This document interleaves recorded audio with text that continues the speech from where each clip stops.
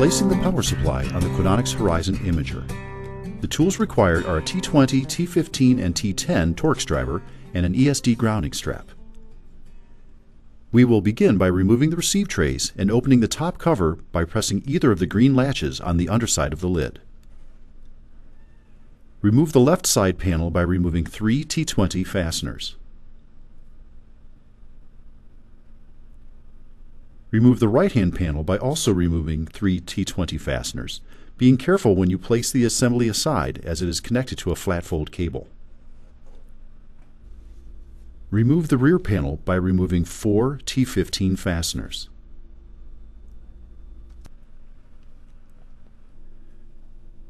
Remove the mainboard assembly cover by loosening three T15 fasteners.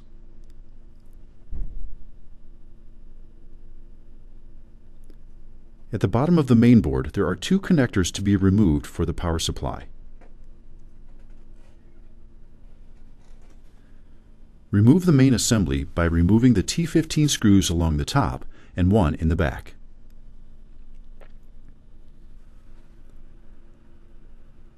It is important that the printhead be in the correct position to make repair. The power supply may fail when the printhead is in the down printing position. Rotate the green thumb wheel to rotate the printhead out of the way. The next step is to lower the donor carriage by applying equal pressure on either side and gently pushing it to the bottom of the device. To remove the cable guide, you will remove four T10 fasteners.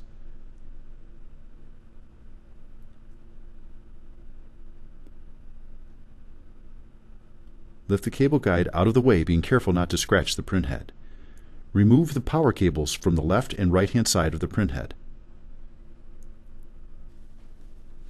Loosen the two T15 screws on the back of the power supply holding it into position, and also remove the two top T15 fasteners holding the power supply in position from the top.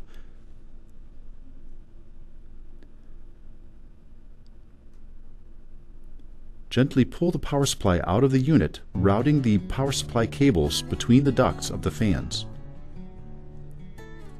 To install a new power supply, slide the power supply into position.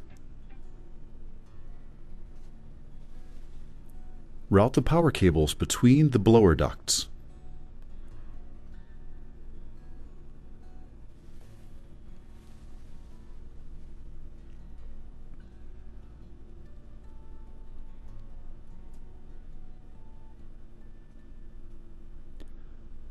Reinsert the two T15 screws holding the power supply in place from the back, and likewise insert the two T15 screws holding the power supply in place from the top.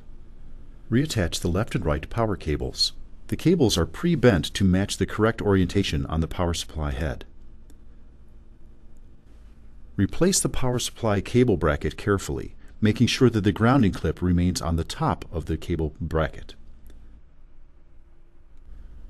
Route the cables underneath the center section of the cable bracket, making sure that they fit snugly.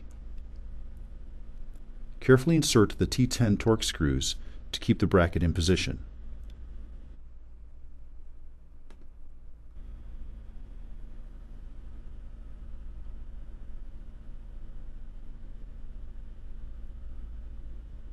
Carefully insert all of the T10 Torx screws, and when tightening, be sure that none of the cables are pinched underneath the bracket, and be careful not to apply too much pressure to the screws as they are easy to strip.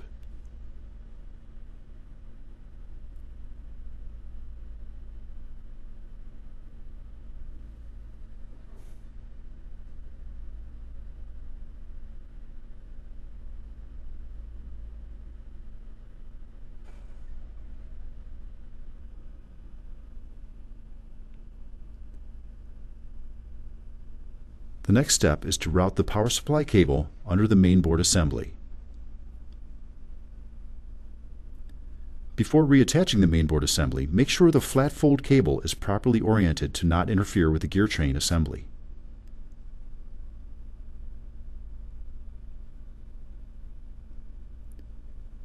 Reattach the mainboard assembly, ensuring the rear connector pin is in proper position reattach using T15 Torx screws.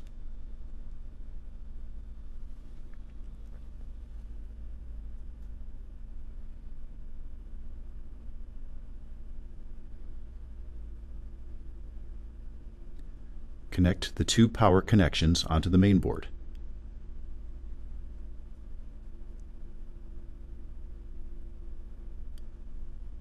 Replace the mainboard assembly cover this is held in place with three T15 Torx screws. Replace the rear cover using four T15 screws. It's important to note that you must put the rear cover on first before you put on the side covers. Put on the left cover and hold it in place with three T20 Torx screws. Reattach the right-hand cover using three T20 Torx screws. Turn on the imager and verify proper operation.